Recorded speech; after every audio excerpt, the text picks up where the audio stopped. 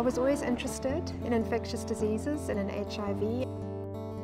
The, the most exciting part of my job is that I'm involved in research. So every day is different and it feels like every day we are moving science forward. It's so vital that we have this trial because it's probably going to be the tipping point.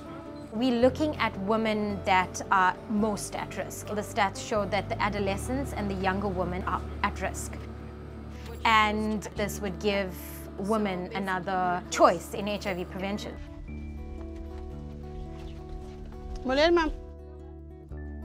I am the Public Engagement Manager for the Khayavac Clinic. the a Khayelitsha clinical research site for HIV vaccine trial. The trial is important because we really are not getting a hold in terms of preventing HIV transmission. With all the available prevention tools, we really are stuck in terms of how to effectively stop the transmission of HIV.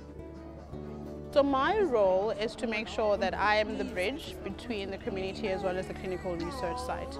I love people, I really do love people and I love seeing people being their best and going forward in life.